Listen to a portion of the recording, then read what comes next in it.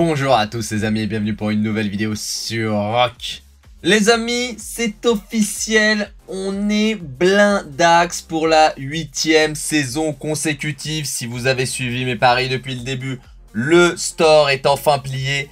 Mais avant de voir tout cela les amis, comme d'habitude, si ce n'est pas encore fait, bien évidemment, je vous invite à vous abonner à la chaîne en cliquant sur la cloche pour être informé de toutes nouvelles vidéos. Et surtout les amis, n'hésitez pas à nous rejoindre sur le Discord de la chaîne. C'est ultra simple, c'est le premier lien en description de toutes les vidéos les amis. Vous allez trouver les infos, les guides, les tips, les tutos, les paris. Si vous n'avez pas suivi depuis le début, les paris, évidemment, il reste des tours sur la finale. Et je vais continuer de vous faire une vidéo tous les vendredis à 18h. Et surtout, il y aura la grande finale par la suite avec le nouveau store et les grands Auric à gagner. On va faire des nouveaux pronos. Le combat entre les quatre vainqueurs de chaque domaine évidemment. Et les ajustements sont sur le Discord le samedi si vous avez suivi les amis. Comme moi, le store sera vidé, mais on verra ça en fin de vidéo. Concentre-nous sur le match que j'ai suivi. J'ai suivi un match pour cette finale. J'ai choisi le plus important, le plus serré selon moi, celui du 489 et commençons tout de suite sur ce match. Hein. J'ai été directement sur le stream. Alors j'ai voulu voir ce que ça donnait en passant par le stream officiel. Celui diffusé par Lilith hein, et euh, drivé, commenté par Shizgul. Donc l'intro est sympa, hein. moi j'aime bien cette petite vidéo d'intro, je l'avais jamais vue, je l'avais vue dans la vidéo mais j'avais pas vu qu'il la sortait juste avant les matchs. Et vous allez voir, je ne sais pas si vous avez le même problème que moi. Alors pourtant, j'ai une fibre, hein, je suis à 8 Go de débit. J'habite en plein centre-ville de Paris, donc euh, pas de souci normalement. Et regardez, je me tape des chargements fréquents. C'est totalement éclaté, je ne sais pas pourquoi. Ça se passe comme ça, mais chaque fois, j'ai des chargements, chargements. Alors, la voix, comme vous l'entendez ou pas, la voix de Shizgul est constante, c'est la vidéo qui se prend des chargements, la voix n'a pas de problème, l'audio n'a pas de problème, c'est que le stream, je sais pas si ça le fait qu'à moi ou ça le fait à tout le monde, je pense que c'est peut-être qu'il y a très peu de joueurs, en tout cas c'est totalement éclaté et évidemment quand on voit ça, j'ai été moi-même suivre et directement faire la vidéo du match. De toute façon, c'est ce que j'aurais fait, hein, parce que je n'aime pas les zooms qu'ils font durant le match. Hein. je trouve qu'ils ratent l'action, qu'ils ne nous montrent pas de quoi donner des conseils stratégiques. Alors, je vous fais un jump, on est en vitesse 300, trois fois plus vite évidemment parce qu'on va pas repasser une heure à regarder cette vidéo, cette partie-là. Donc on va être sur un match hein, qui va faire un petit peu moins de 20 minutes au total. Et vous le voyez, en bleu on a les 60 GT, en rouge on a le 489, je vous le rappelle, on a mis 3000 Oryx sur le 489. Au départ, sur la sortie, petit avantage hein, dès le début du match au 489. Ça joue à pas grand chose. Ils ont pris quelques secondes d'avance, hein, vraiment pas grand chose. On le voit, il y a 4 rallyes des deux côtés. Ça part, c'est chaud. Ça se positionne des deux côtés. Les deux ont sorti leurs sentinelles. Alors, les sentinelles pour voir le terrain, regardez, le 489, on a sorti 3. Quand les 60 GT en ont sorti 2. Du moins, je ne vois pas la troisième. Elle est sûrement quelque part, mais je ne l'ai pas vue. Et j'ai regardé le match en live, évidemment, hein, et je ne l'ai pas vue. Et vous le voyez, regardez, en bas à gauche, au niveau de sancteur de vie, voilà, les 60 GT ont pris une position avantageuse. Ils sont tout seuls avec un farmer à côté de la mine quand les 489 ne l'ont pas vu. Du coup, le 489 hein, se focus ailleurs. Ils n'ont pas croisé cette troupe hein, qui est bien cachée et personne ne sait qu'il est là. Au niveau du tombeau, les deux ont la même stratégie. Ils ont envoyé trois troupes au centre. C'est intéressant de voir comme les stratégies sont proches. Au niveau des téléportes, avantage aux 60 GT qui s'est téléporté bien en amont. Au niveau de l'hôtel du désert, c'est là que se passent les deux fights des deux côtés. Ça va vite, hein, mais c'est le but, c'est de voir tout le match.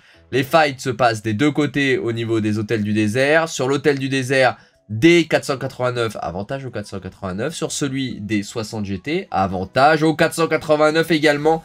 Le 489 fait une première poussée sur les bâtiments époustouflante et commence à prendre des positions vous allez le voir, pour l'instant, on est à 130 points la minute des deux côtés. Et on va avoir un léger avantage sur les bâtiments au 489 qui va leur permettre de prendre quelques points d'avance. Vous le voyez, là pour le moment, il n'y a rien. Il s'est bien équilibré au niveau des points.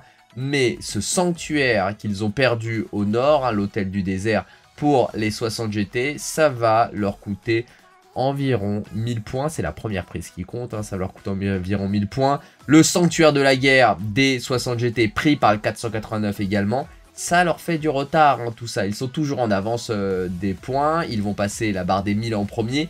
Mais à partir de maintenant, ça va se renverser hein, pendant quelques minutes jusqu'à jusqu'au l'arc Osiris. Et regardez, je vous ai mis ce dézoom pour qu'on voit bien au niveau que vous compreniez bien la stratégie qui est utilisée. Ils se réunissent tous et on voit, on est à 3 minutes 20 de l'arc. Les 489 ont un léger avantage sur l'arrivée. Ils sont arrivés plus vite sur le positionnement de l'arc. Mais les 60 GT ont un avantage à la position.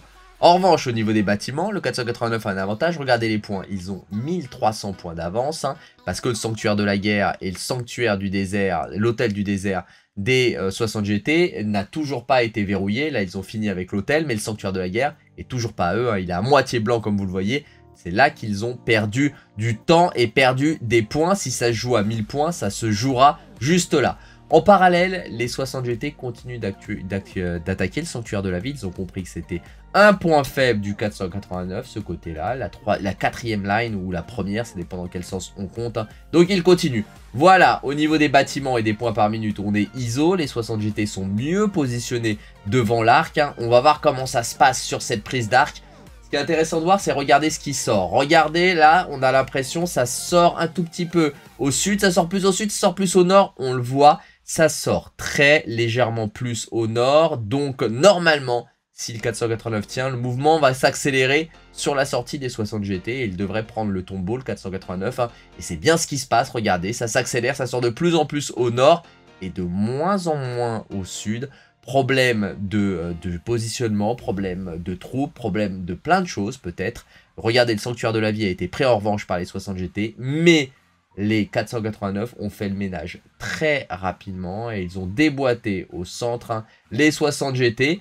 La prise de sanctuaire de la vie par les 60 GT leur ont permis de recoller au score. Regardez, il y a 200 d'écart à présent si on exclut le tombeau. Donc en termes d'occupation de bâtiment, les 60 GT ont fait l'effort. Ils ont perdu durant les 15 premières minutes de jeu. Mais là, grâce à leur effort, ils ont perdu le tombeau. Mais ils ont repris du terrain en termes de prise de bâtiment ça fait qu'un écart de 80 points à la minute. Quand un tombeau, c'est 3000 à 3005. Franchement, là, c'est euh, pas le meilleur des calculs. Mais en tout cas, c'est un bon positionnement pour eux. Il aurait fallu qu'ils gagnent l'arc en plus. S'ils l'avaient gagné, ça aurait changé beaucoup de choses sur la suite du match. Les 489 sont bien. On a passé 20 minutes de match déjà, soit un tiers du match. Vous le voyez, ça va très vite hein, en vitesse. 300. Au niveau des bâtiments, on est, retombé sur de l'ISO, mais c'est-à-dire qu'ils ont chacun autant de bâtiments, ou presque, hein, puisqu'ils ne sont pas tous verrouillés au sud. Voilà, là on est à l'ISO, 590 par minute des deux côtés, mais l'arc est en position des 489, hein, qui le garde bien au chaud. Le but de 489, c'est jouer un petit peu la montre, hein, puisqu'ils tiennent pour l'instant en open field et en prise de bâtiment. Ça tient, mais pas de ouf, mais ça tient quand même. Ils ont un léger avantage. En néanmoins, au niveau de l'arc, il faut le poser. Ils viennent de le faire. Ils prennent 3000 points d'avance à présent et ils continuent d'attaquer. Les bâtiments, c'est très stable. On doit attendre 7 minutes 30 avant le prochain arc. Et si vous avez l'habitude de suivre des matchs de tombeau Osiris, vous le savez, on comprend tout de suite que ce match-là va se jouer au tombeau. C'est très équilibré sur l'open field. C'est très équilibré sur la prise de bâtiment. On verra le score à la fin. Mais il a fort à parier hein, que ça va jouer sur la prise du tombeau. On continue. Nous, évidemment, on est pour les 489 GT, hein, puisqu'on a mis 3000 sur eux, avec une cote de 3,5. S'ils gagnent, c'est fini pour le store qui sera définitivement plié. Sur la prise des bâtiments, on voit sur cette seconde phase, hein, le 489, eux aussi, a compris que ça allait jouer sur l'arc. Hein. Ils deviennent moins bons sur la défense de bâtiment. Ils restent en défense passive. Ils attaquent beaucoup moins. Ils perdent quelques structures qu'ils reprennent très rapidement comme vous le voyez. Hein. Ça clignote leur première ligne, leurs hôtels et leurs sanctuaires. Là, ils en perdent, l'hôtel du désert, ils vont le reprendre, ils sont surnommés, ils vont forcément reprendre, voilà, ils viennent de le reprendre. Mais vous avez vu, ils sont déjà à plus de 5 minutes positionnés sur le centre. Je vous le dis souvent, se positionner avant 4.30 au centre, hein, c'est souvent un échec assuré. Sauf que là, les mecs tiennent le coup, tiennent le choc hein, et arrivent à déstabiliser par cette technique les 60 GT. De plus, regardez, ils sont très en retrait sur l'arc en général. La team qui se met aussi en retrait par rapport à l'arc hein, prend un désavantage, sauf à avoir une stratégie de dingue. Et c'est exactement que va faire le 489. Et de l'autre côté, les 60 GT vont être déstabilisés par cette puissance et cette stratégie. Regardez, ils font un move en bas à gauche. Pourquoi en bas à gauche dans le tombeau? Tout simplement pour attirer les 60 GT, pour les faire sortir de ce coin où ils sont cachés derrière le tombeau d'Osiris, le temple d'Osiris. Ils mettent une arbalète pour les faire reculer, justement, et ça recule. Ça recule à tort. Là, ils auraient dû aller en Murder Ball et avancer. Ils ont reculé, ils ont perdu pour le coup, là, leur positionnement et c'est le 489 qui se retrouve dans la meilleure des positions. Il se retrouve devant le temple d'Osiris hein, grâce à cette tourelle qu'ils ont posée et qui a fait reculer automatiquement hein, les 60 GT. Et regardez, ils sont en train de se faire vider, là, les 60 GT. Au départ, c'est équilibré, et puis ça le devient beaucoup moins. On, je regardais au niveau du euh, sanctuaire de la vie, hein, eh bien, ils n'arrivent pas à le reprendre, ils n'arrivent pas à faire le même coup que tout à l'heure. Donc, en termes de points, ils ont 2100 points, 2200 points de retard et ils se font éclatax au niveau du centre du tombeau. Ce deuxième arc est beaucoup moins équilibré que le premier. Ils se sont fait très rapidement vider. Et donc, les 489 se retrouvent avec beaucoup de troupes. Ça va leur permettre d'aller directement défendre leur position et attaquer d'autres positions. On se retrouve avec près de 2300 points d'avance pour les 489 et un tombeau, un deuxième tombeau en possession du 489. Mais à ce stade, le match n'est pas fini. On se retrouve en finale tout de même. On se retrouve avec deux très grosses équipes. Hein. des joueurs des deux côtés qui n'hésitent pas à lâcher des coups de CB pour soigner l'intégralité de leurs troupes. Hein. Ça va se jouer sur le dernier tombeau. Si le 489 pose ce tombeau, si les 60 GT sont forts sur la prise de structure des 489, le dernier tombeau sera décisif. Et c'est ce qu'on va voir les amis. Regardez, les 60 GT continuent d'attaquer. Ils sont très forts sur l'attaque des structures. Ils arrivent à déstabiliser, à ébranler le 489 qui a du mal à défendre, qui perd leurs bâtiments, qui les récupère, qui les repère. Là, ils sont sur la défense de leur sanctuaire, qu'ils vont perdre ce sanctuaire, cet hôtel, pardon, euh, du désert. Ils vont le perdre. Elle a presque plus rien euh, là en défense. Hein. Donc c'est très tendu. Ils le tiennent, ils le perdent, ils le tiennent. On va le voir, ils l'ont perdu au nord. Le sanctuaire de la guerre, hein. il va falloir le défendre davantage.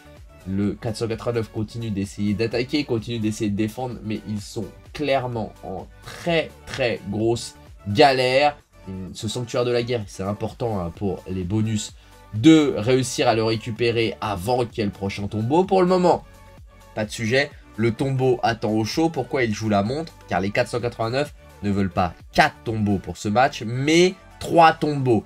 Les 489 continuent d'attaquer, ils essayent d'aller au nord hein, en attaquant notre ami d'Aquitaine, ils y vont, ils attaquent, ils essayent d'avoir cet hôtel du ciel, mais les 60 GT sont très forts. Il n'y a pas de raison. Les 489 ont perdu après avoir repris leur sanctuaire de la guerre. Ils ont perdu leur hôtel du désert. C'est très très tendu pour eux. Mais le 489 a repris l'hôtel du ciel au niveau du sud, hein, en haut à gauche hein, si vous préférez, ou au milieu à gauche. Ils ont repris cette ils ont pris tout court cette structure au 60 GT, mais ils ont du mal à la conserver. Ils avaient perdu la leur, ils l'ont récupéré. On repasse à un avantage en structure au 60 GT, mais regardez, malgré, si on exclut l'arc qui est en possession des 489, euh, il n'y a que 1600 points d'écart alors qu'ils ont un arc qui a été posé en avance, hein, les 489, hein, ce qui montre la suprématie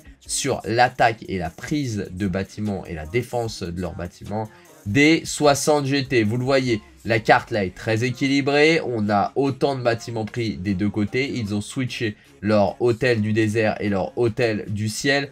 Il va falloir réussir à tenir ces positions. Ils ont posé le l'arc, hein, les 489. On se retrouve dans les 20 dernières minutes du match, le dernier tiers du match. Et on a un score qui donne 5000, un tout petit peu moins de 5000 points d'avance au 489. Mais regardez, 440 points la minute pour le 489. 590 pour les 60 GT. C'est donc encore une fois un avantage sur les structures aux 60 GT et ça peut faire la différence avec le dernier tombeau. Quand il y a moins de 5000 points d'écart comme celui-là ou à peu près 5000 points d'écart, un léger avantage à l'équipe qui perd hein, en termes de domination de structure et un troisième arc à pop, hein, tout va se jouer sur cet arc puisque avec les 4700 points d'écart, si un arc arrive, ça reprend 3500 points, il restera 1400. Ça peut se jouer sur les bâtiments, ça peut se jouer également sur le farming, hein, selon l'équipe qui sera le plus fort, l'alliance qui sera le plus fort. Les 489 sont un petit peu en décalage sur les bâtiments. Ils ont un petit peu de mal. Mais ils arrivent à tenir. Ils, perdent des bâtiments. Mais ils arrivent à les reprendre. On voit hein, beaucoup Aliénor d'Aquitaine en défense. Presque partout. On le voit. C'est vraiment la nouvelle méta de défense en Arc Osiris. Et là, on est à 3 minutes du pop de l'arc. Et les 60 GT ont bien compris que c'est là que tu allais jouer. Ils se sont positionnés bien en avance hein, cette fois. Ils n'ont pas fait les oufs comme tout à l'heure sur les bâtiments à attaquer au bout, du bout, du bout. C'est pas pour ça qu'ils vont lâcher l'affaire sur les bâtiments. Ils savent que c'est l'arc plus la prise des bâtiments hein, en sous-main qui va les faire gagner. 5000 points d'écart, hein. même pas 5000 points d'écart entre les deux équipes, si un peu plus de 5000, 4500, non moins de 5000, 4500 points d'écart entre les deux équipes, un tombeau et 1000 points. Tout ça grâce au travail de force des 60 GT hein, sur la prise des bâtiments. Un arc, c'est 3500 points là s'il le pose. S'il pose l'arc, 3500 points, il y a 4500 d'écart. Il y aura plus que 1000, même moins de 1000 d'écart. Ça serait une dinguerie que les 60 GT gagnent. Encore une fois, la mauvais positionnement des 60 GT qui s'est laissé légèrement repousser chez eux, légèrement recruter, ce qui permet tranquillement au runner du 489 de se positionner. Il attaque d'ailleurs le runner hein, qui est en KO il attaque Jeanne d'Arc, on le voit.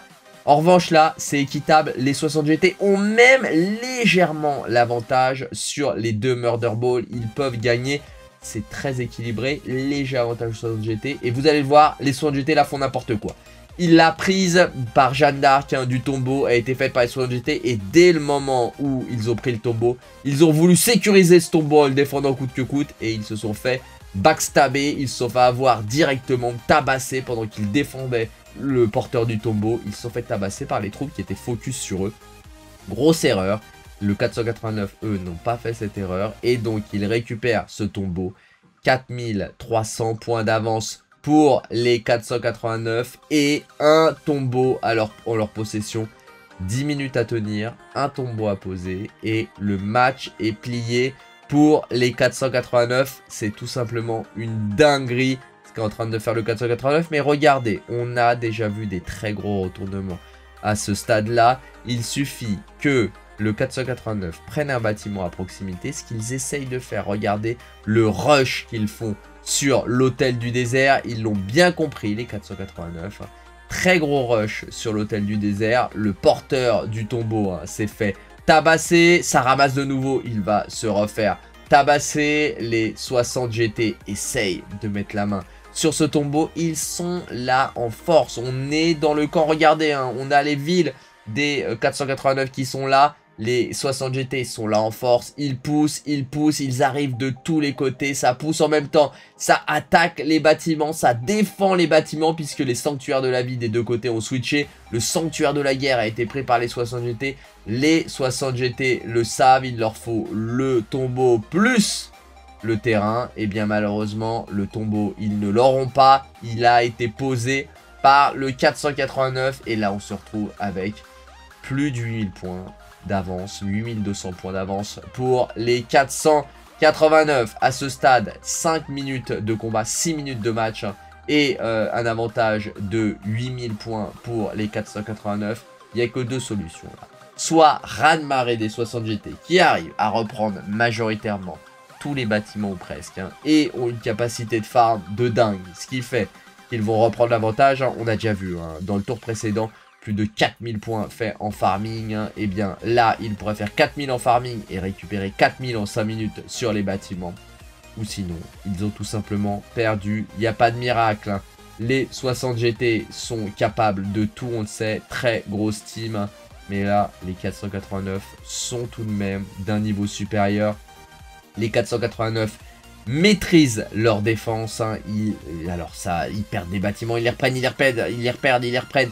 Mais ils arrivent suffisamment à les tenir et les reprendre rapidement pour pas que ça les pénalise. De l'autre côté, ils sont très forts au centre. Hein. C'est-à-dire, ce qu'ils perdent en bâtiment, ils le gagnent x3 au centre hein, grâce à cette technique où ils sont peut-être un petit peu moins forts, mais on peut pas être fort partout. Peut-être un petit peu moins fort sur les bâtiments, mais extrêmement solides sur la prise du tombeau. C'est ce qui fait la différence et ce qui les amène dans ce match-là, à 2 minutes de la fin, à avoir 7000 points d'avance. Énormissime 7000 points. On est sur la fin, il reste évidemment moins de 2 minutes, 7000 points d'écart, autant vous dire que là, c'est mort. Ils ne peuvent pas revenir ni en bâtiment, ni en farming, aucune possibilité. Vous le voyez, le tombeau pop dans 30 secondes, mais il reste que 1 minute de match. Alors vous allez le voir, même si le compteur va être terminé, le match va continuer encore pendant quelques minutes. Pourquoi? Car le compteur de Lilith, hein, comme d'habitude, est totalement éclatax. Alors on en a l'habitude hein, des compteurs éclatax de Lilith. Mais, mais la très bonne nouvelle, voyez, à 5 secondes, la très bonne nouvelle, c'est que les 489 ont gagné. Les 489 ont gagné largement 7000 points d'écart. Vous voyez, deux compteurs sont à 0. On est à 59 minutes 59 en bas. Et pourtant, le match continue. Ils sont détente, la Lilith, hein, d'avoir euh, un bug éclaté. Imaginez les mecs qui perdent dans ce temps mort-là. Est-ce que c'est un vrai temps mort ou est-ce que c'est juste un décalage du compteur? Je pense que c'est juste un décalage du compteur. La victoire est au 489. Hein. Ils ont gagné Seawild, hein, qui est le boss. Gagné, ils ont perdu sur le score d'occupation et les provisions. Mais ils ont gagné sur tout le reste. Regardons maintenant in-game ce que ça donne au niveau des paris. Et vous allez le voir, on a de quoi être très très bien les amis. On va tout de suite sur la mise. Et regardez, sur le match des 27 WP face au S12, on va aller le voir directement. 27 WP face au S12. On a évidemment gagné, je vous avais dit de tout mettre dessus. Hein. On a gagné et on a gagné de, euh, de 3600. Ça a été serré, mais les 27W se sont réveillés sur la deuxième partie du match. Ils perdaient un. Et ils ont gagné sur le domaine de Danubis. Hein. les 489 ont gagné, vous l'avez vu. Et sur le domaine de Russe, on a tenté le bluff avec les 16 OT. Et les 16 OT se sont fait pulvériser par les 93 T. Pas de surprise pour ce match. C'était le moment de faire une très grosse contre-cote. Si vous avez suivi à la lettre mes paris, les amis, vous avez gagné, si vous avez mis 6000 sur les 27 WP, vous avez gagné 9000. On est bien. Si vous avez mis 3000 sur les 16 OT, on a perdu 1500. Si vous avez mis 3000 sur les 489, vous avez récupéré 14000. Et si vous avez suivi mes paris intermédiaires sur les 748, vous avez perdu 200. Mais gagné 1200, on est très très bien. Au final, les amis, c'est quand même du très lourd. Si vous avez suivi exactement mes paris pour ce tour, hein, il n'y a pas de mystère. Hein. Vous avez investi, euh, si je ne me trompe pas, 6, 3, 3, 12 000 euros plus 12 000 euros. Non, 12 000 euros, 12 200 plus 800, on a investi 13 000 auric, les amis. C'est quand même du lourd, 13 000 auric. Hein. On en a perdu que 1500, mais c'est pas grave, on a récupéré 1500 auric. Puis surtout, on a récupéré 13 831 sur le match des 489 et après on a récupéré 1200. Au final, 13 000 auric investis, 25 000 auric récupérés. On est plutôt bien et regardez, on avait déjà vidé les sculptures. Prenons ce qui reste. On regarde, on vide là, on vide ici, on vide ici. On vide ici aussi. On vide celui-là aussi. Il nous reste encore 11 000. On vide celui-là. On vide celui-là. Et reste celui-là. Le store, les amis, il nous reste 4755. Le store est officiellement vidé après ce premier tour de la finale. Et il nous reste 4755 auric. Il nous restera à peu près 6000 auric si je dis pas de bêtises. Lorsqu'on aura tout pris pour le second tour. On a officiellement vidé pour la huitième saison consécutive, les amis, ce store. Merci de votre confiance. Merci d'avoir suivi les pronostics. Évidemment, il y aura du rattrapage pour ceux qui ne les ont pas suivis. Il reste encore au maximum deux tours pour cette finale. Et après, on pariera pour les grands hauts réicains. Très grosse ligue cette saison 8, difficile sur les pronos, mais l'objectif est officiellement atteint. Et il nous reste normalement l'œil pour le talent. Hein. On va se mettre bien aussi, vu comment les 60 GT hein, ont totalement anéanti, pas les 60 GT, pardon, vu comment les 1093 ont totalement anéanti les 16 OT, on devrait être bien les amis, on va se faire plaisir sur ce dernier tour d'œil pour le talent. Parce que je pense que le deuxième match, les 1093 vont encore gagner. Voilà, écoutez les amis, c'est tout pour cette vidéo. J'espère qu'elle vous aura fait plaisir. Dites-moi en commentaire si le commentaire d'un match comme ça, aussi serré, avec l'explication des stratégies, vous a plu. Si c'est le cas, je vous en referai de nouveau. Si cette vidéo vous a plu les amis, comme d'habitude, n'hésitez pas à lâcher un colossal pouce bleu. Vous le savez les amis, ça me fait vraiment très plaisir et ça aide énormément le développement de la chaîne. Si ce n'est pas encore fait les amis, qu'attendez-vous? Qu'attendez-vous? Pour vous abonner à la chaîne en cliquant sur la cloche pour être informé de toutes nouvelles vidéos. Je vous souhaite un bon jeu à tous, prenez soin de vous, faites bien attention à vous les amis, et je vous dis à plus sur Rock